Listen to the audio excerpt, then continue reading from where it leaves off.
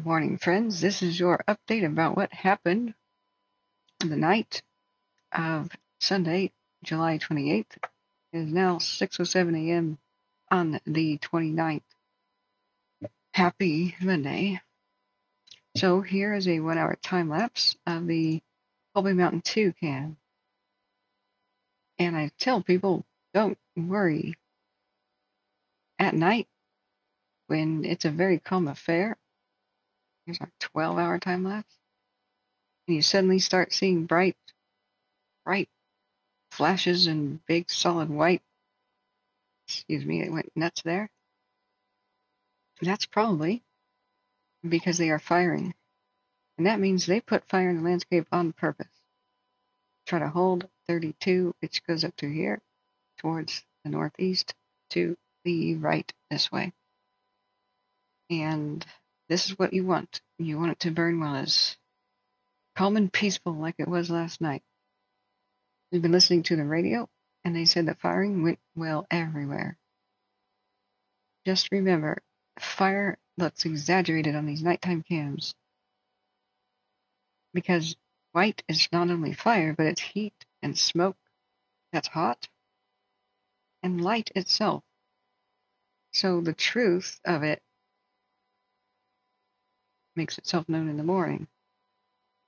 Oh, see all the pink? That's the fire's light reflecting off its own smoke. So that went well everywhere that we heard. We also watched. We also watched on the cams. Uh, let's see. The fire move closer and closer to Dale's station. And let's do a 12 hour time lapse of Los Molinos Beach. For a while, it just sort of looked at nothing. And then it went and pivoted. And we saw it slowly but surely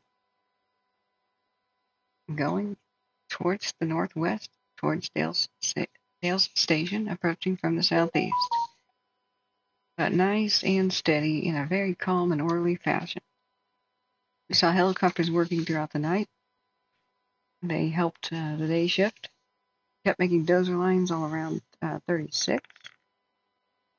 They had not much to report. They just shuffled their units around, assisted each other, and it was there were very long periods of silence on the radio because not much really happened. Some of the crews are sleeping at Manton and they will get up and go back to work in the morning. Another one was reported as being pretty tired and spent. But I, like I tell people, light exaggerates the white of infrared, light and hot smoke. As soon as the morning light hits it, it's the same view, but you can now see the real story. It just crept along the ground pretty low key. Nobody wants fire to approach their town, but if it does, that's what you want. For it to approach in the cool of a calm night. I copy direct. Or the calm of a cool morning. So the other things that occurred were pretty pretty standard. We got the mapping plane out at uh, after midnight. They came out with their new maps, and now we can see uh, where the dozer lines are and where they are complete or and where they are not. So this map, I don't really have much of a, a zoom control here, but the to protect Concow, Centerville, Magalia, Nimshew, Lovelock, and all those places, um, up to uh, Inskip, there is a dozer line alongside 32, which is here in the red. All the pink is where they have dozer lines under construction. Under construction, excuse me. So these are complete here and here, all around the moon. Where it says R, completed the road as a line. So these roads that go out to the woods, 32 itself. Got some lines under construction over there. They prepped the road. Fired that last night. You got dozer lines protecting the Jonesville area. layer upon layer of dozer line protecting butte meadows and more under construction. In the pink, these blue letters are drop points for their helicopter drops, and it's a crying shame that apparently the crews around here never got their dinner and worked 48 solid hours at least without food and fresh water. We must do better. We must do better than that. That is a crying shame. We must recognize the sacrifices of our heroes. I don't know if it was any better elsewhere, but that's awful. So, right here on 32, as it goes north and curves, they have more dozer lines under construction. But this road here, prepped and good. As we go north, there's more dozer lines under construction over there. Um, up here, this is the Lewis Tehama County line. You can see where 172 meets 36. Some dozer lines under construction. Contingency group over there. We go to the west, over here at 36. This this is the road. It's 36, the red here. And we know that uh, what day before yesterday it it pushed over 36, and they are working really hard to just circle it and keep that little bubble right where it is over by the uh, I think that's uh, the ranch area. And they did call around 10 o'clock last night for the evacuation of Dale's station. And see, I can get to the right spot here. There we go. When I'm not zoomed in, it's hard to orient myself. It's not particularly labeled on the map here, but everything is going well. It just crept over towards it. So you can see they've got lots of dozer lines, dozer lines on top of dozer lines, and line around that little spot, which I think was in skip cameras, if I had to uh, guess. Over there, dozer lines to protect in Red Bluff, totally completed all the way down, all the way down to Hema Los Molinos. Completed, completed. Road prepped, dozer lines just in case. Completed. Everything's looking pretty good down there. Down at Richardson Springs at Chico, black line from the uh, what was that big Chico Creek area all the way back up to due east of I think that's Vina. Try to guess that's Vina. They should label more things, but this is your general idea. Now, they are really going out of their way to protect places like uh, Mineral and uh, Chester. They are going up deep into the forest to put uh, dozer lanes over by the intersection of 36 and 172. But this has been the brightest active spot. You watch it on the Colby cams. Don't worry too much about the brightness during the night if you do your replays. It really wasn't that bad. So if we put on global imagery, we put on shaded relief too, and we turn on the activity, the satellite activity that we had lining up on the camera here. These were their firing operations. So we take off the satellites and mostly go to global imagery.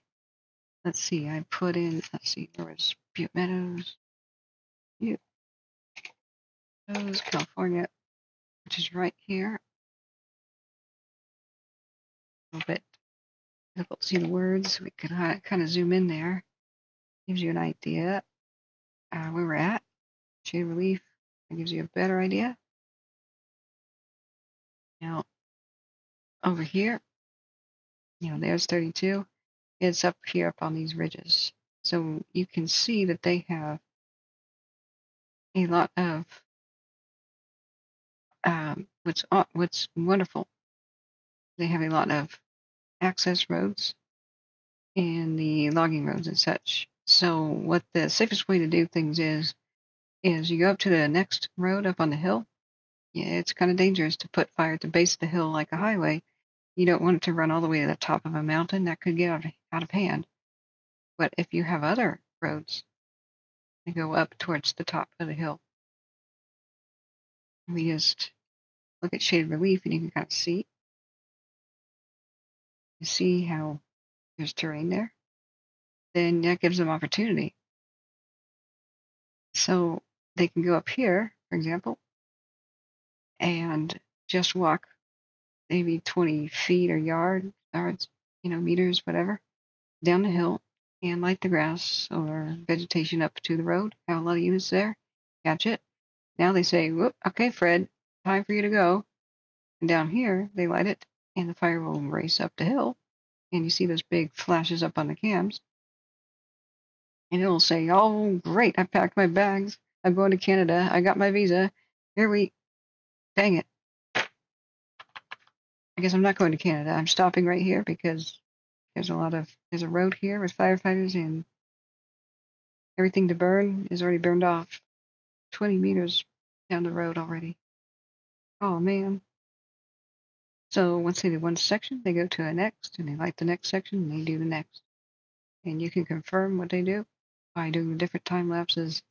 One section here, one there, one there, one there. It all went smooth like clockwork as far as we could tell on the uh, Colby cam. So it was super calm and nice, excuse me. A perfect opportunity to do it. They hit it with retardant uh, the night before. That was what all those red splashes were. And just in one section at a time. Did it really flare up? Excuse me, I turned on the wrong Colby cam there. Colby Mountain 1, please. Thank you.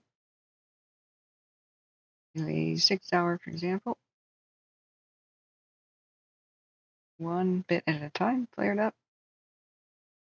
Don't be scared. Because they have to make it look ugly at night so it looks pretty during the day. And look at it fizzle and peter out. See how the column lays down after they did that operation? It's because it hit that road and it stopped. The new run stopped. Perfect. They'll probably do more of that throughout the morning. If that had been a runaway fire or something had jumped, hey, the radio would have been all a buzz with it. It was crickets, crickets, crickets.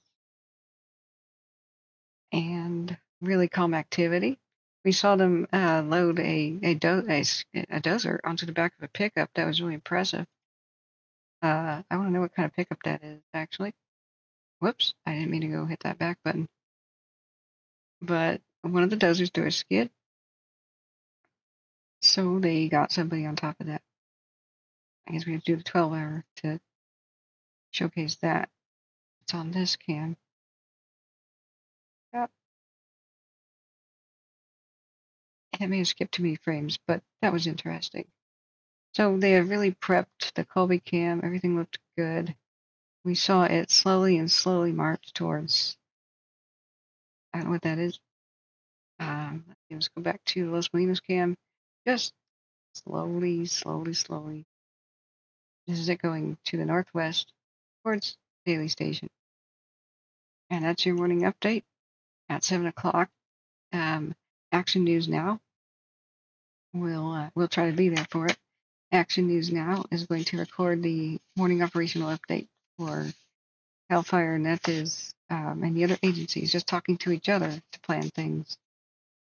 And it's not really meant for the public, it sure will give us. It sure will give us um, an idea of what they're planning today and how things went last night. So we'll just wait for that. In the meantime, we've got the brand new maps from last night. Around 800, what, oh, 0800, they might give us a new acreage update. We know that uh, it's spread, but I don't think it's spread by much. So that's your morning update, guys. Remember to like this if you found it useful, subscribe, and please share the channel page with anybody that you think could benefit from this information.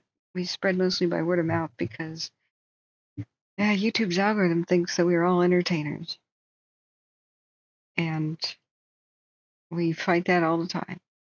If we don't show really dramatic footage, we don't. Like homes burning down, then well, we're at the bottom of the uh, of the search results, and it makes it hard for us to reach the people that we try to help. we have given all of these communities